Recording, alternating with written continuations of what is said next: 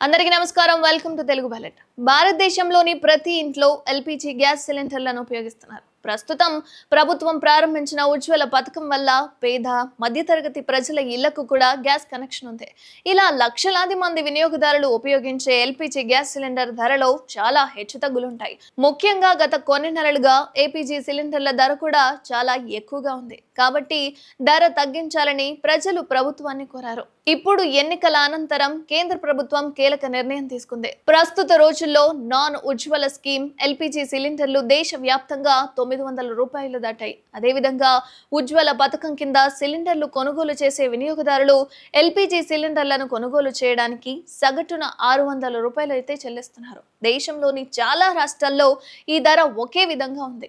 చిన్న వ్యత్యాసాలు మాత్రమే ఉన్నాయి. కానీ ఎన్నికల తర్వాత వరుసగా మూడోసారి అధికారంలోకి వచ్చిన తర్వాత ఎల్పిజి సిలిండర్ల ధరను వంద రూపాయలు తగ్గిస్తామని ప్రధాని నరేంద్ర మోదీ హామీ ఇచ్చారు. ఫలితంగా వచ్చే నెలకు తొమ్మిది వందలు చెల్లిస్తున్న కస్టమర్లు ఎనిమిది వందలు మాత్రమే కొనుగోలు చేయగలరు. మోడీ ప్రభుత్వం ధర పెంచడమే కాకుండా బడా లేదా ఉజ్వల పథకం కింద లభించే ఎల్పిజి సిలిండర్లపై కూడా సబ్సిడీని కూడా పెంచుతుందని హామీ ఇచ్చింది. ఆర్థిక పరిస్థితి చాలా తక్కువగా ఉన్న పేద మధ్యతరగతి వినియోగదారులకు ఇది చాలా ఉపయోగకరంగా ఉంటుంది.